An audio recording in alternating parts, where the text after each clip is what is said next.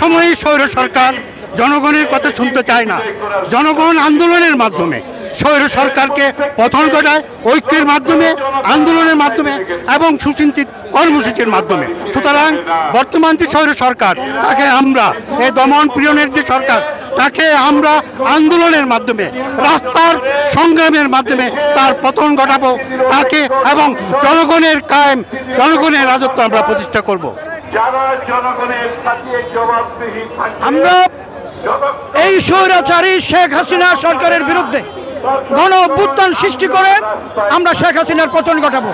আমরা চাই উনিশশো নব্বইয়ের সেই এরশাদ বিরোধী আন্দোলনের গণ গণ অভ্যুত্থান উনিশশো উনসত্তর সালের সেই ছাত্র গণ অভ্যুত্থানের পরিণতিতে শেখ হাসিনার পতন হবে ইনশাল্লাহ আমরা চাই এক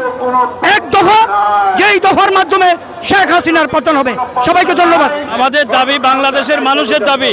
আমার শুধু এক এক দাবি নয়, আজকে দীর্ঘ এক যুগেরও বেশি সময় বাংলাদেশের মানুষ নির্বাচন নামক শব্দটি ভুলে গেছে। মানুষ ভোট দিতে পারে না।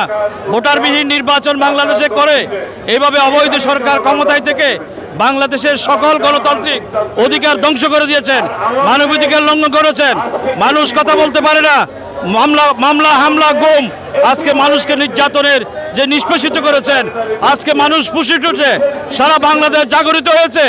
আঠারো সালের ওই দিনের ভোর রাত্রে আর বাংলাদেশে হবে না। নির্বাচন হবে নিরপেক্ষ সরকার অধীনে। এই সরকার যে উচ্চবিলাস আগামী নির্বাচন করবেন, আঠারো সালের মার্কা এটা ভুলে যেতে হবে। নির্বাচন হবে নিরপেক্ষ সরকারের মাধ্যমে। আমরা গণতান্ত্রিক নির্বাচনের মাধ্যমে জনগণের সরকার ইনশাল্লাহ প্রতিষ্ঠিত করব। আমরা আমরা আজকে এই যে পদযাত্রা এই পদযাত্রার মাধ্যমে আমরা জনগণ যে মাঠে নেমে এসেছে, আমরা এই জনগণকে নিয়ে আমরা আগামীতে তত্ত্বাবধায়ক সরকারের অধীনে নির্বাচন হবে, এই সরকার বাধ্য হবে এই নির্বাচন দিতে।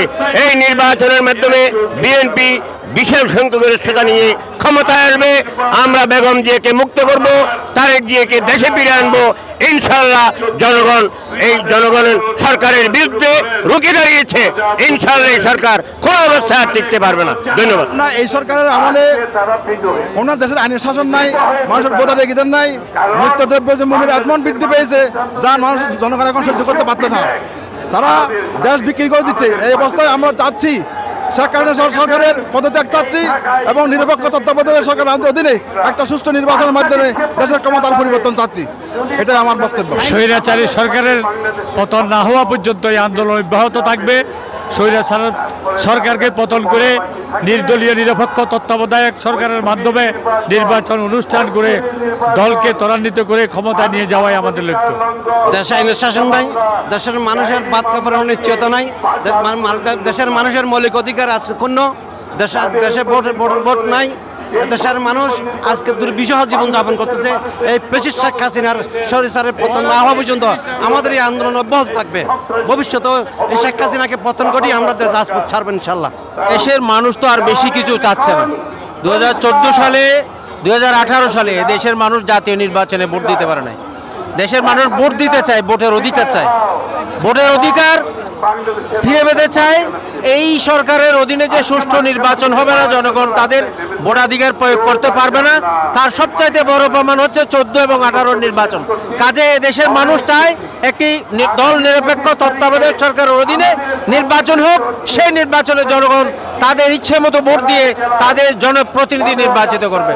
এই জন্য আজকে রাস্তায় মানুষ নেমে এসেছে, জনগণ এই পরিবর্তন চায়।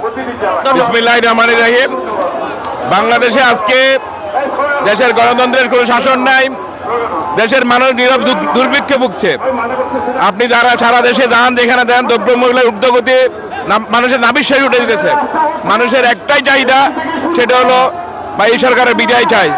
আমরা চাই আমাদের সেই পুনতন্ত্র গণতন্ত্রের পুনরুদ্ধার হোক আমাদের ভোটাধিকার অধ্যায় হোক সেটাই আমরা চাই আমাদের একটাই দাবি শেখ হাসিনা কবে যাবি নিরপেক্ষ তত্ত্বাবধায়ক অধীনে ক্ষমতা হস্তান্তর করে এই সরকারকে বিদায় নেওয়ার জন্য আজকের পদযাত্রা থেকে আহ্বান করছি ধন্যবাদ আমাদের আঠারো নম্বর ওয়ার্ড থেকে আলী শহর থেকে জায়গাতে মিছিল